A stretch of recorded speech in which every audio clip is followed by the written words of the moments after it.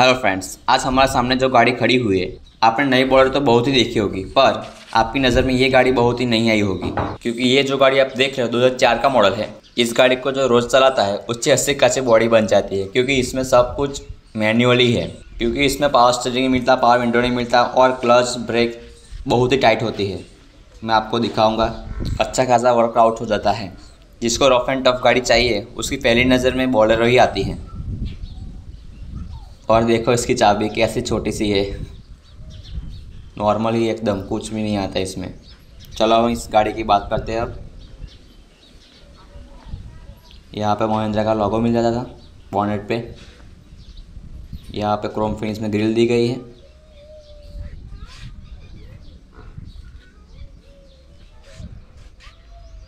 और यहाँ पे आपको हेलोजन लाइट मिल जाती थी। साइड में क्रोम फिनिश दी गई है। ये देखो बम्पर पूरा लोहे का ही है, कैसा हो जाता है देखो।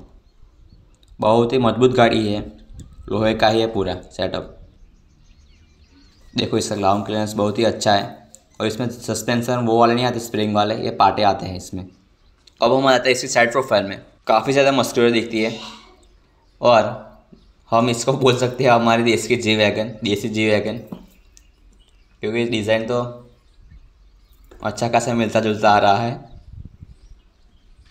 देखो, इसमें टायर बहुत ही बढ़िया दिए है उस समय पर क्योंकि अगर टायर सेक्शन की बात करें तो किधर गया? हाँ।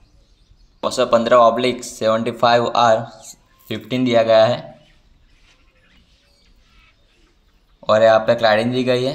रफ एंड टफ लुक आए इसलिए, देखो। और यहाँ पे भी। यहाँ पे रेडियम मिल जाता था उस समय पर। और वाइपर्स एंड वॉशर ये चाबी गिर गई। देखो, इसमें साइड ग्लास ही नहीं है। टूट गया है, लगता है। पुरानी गाड़ी पुरानी ही लगती है। और वहाँ जाता है इसके रियर प्रोफ़ाइल में। देखो, ऐसे दिखते हैं पीछे से पूरा लुक लुक के मामले में नई गाड़ी भी ऐसे ही आती है रियर लुक में। थोड़ा बहुत चेंज हुआ है, बहुत ज़्यादा नहीं हुआ। इसका स्पेयर व्हील कवर चढ़ा हुआ है उस पर और रियर लाइट देखो ये बम्पर पूरा लोहे का ही है, कैसा आ जाता है। और ये फुट स्टेप यहाँ से चढ़ेंगे। और एक्चुअल टेल पाइप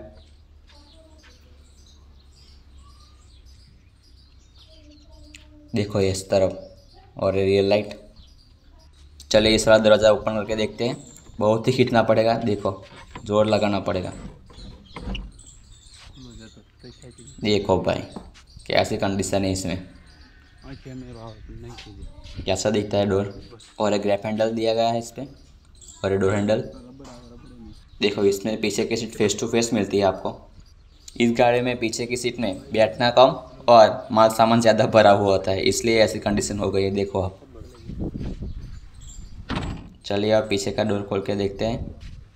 यहाँ पे बॉर्डर की बेजिंग मिल जाती थी। क्रोम फिनिश में डोर हैंडल्स दिए गए। भाई साहब, देखो दरवाज़ा पूरा इस तरफ़ चला गया, क्योंकि नीचे बेल्ट जो आती है वो टूट गई है इसलिए। यहाँ पे डोर हैंडल्स मिल जाते थे, टूट गया है वो भी देखो। यहाँ पे विंडो के कंट्रोल्स दिए गए हैं मैन्युअली यहाँ पे थोड़ी स्पेस दी गई है। ऐसे दिखते हैं पीछे के सीट हेयर रेट्स पेरेट्स कुछ नहीं मिलता है इसमें तो।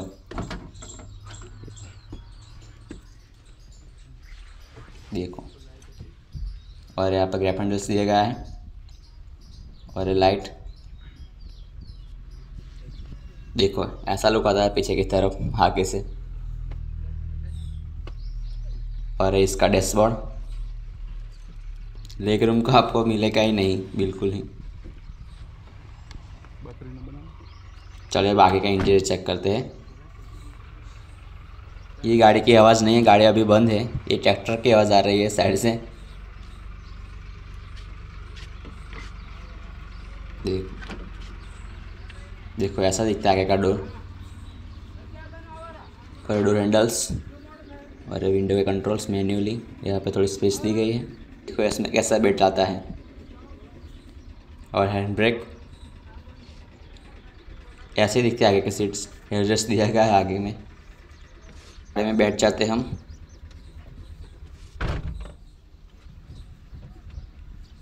और ग्रेफ हैंडल्स देखो, यहाँ पे कुछ भी नहीं मिलता बैंटी मिरर बैंटी मिरर सब खाली है, इस तरफ़ भी नहीं मिलता, बहुत ही टाइट है, और रियर व्यू मिरर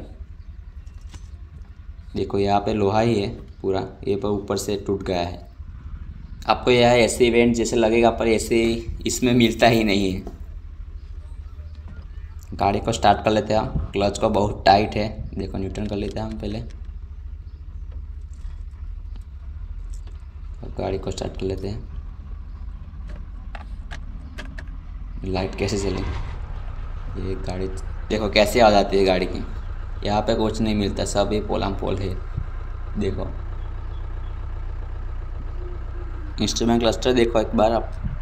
यहाँ पे स्पीडोमीटर दिया गया है और फ्यूल लेवल दिया गया है और इंजन कूलेंट टेम्परेचर और थोड़ी बहुत वार्निंग लाइट्स दी जाती हैं। और कुछ नहीं मिलेगा आपको इसमें। और स्टेयरिंग देखो इसका। पुरानी थार वाला। यहाँ पे वाइपर कंट्रोल्स दिए गए हैं और लाइट के कंट्रोल्स। और एक गाड़ी को हम बंद कर लेते हैं।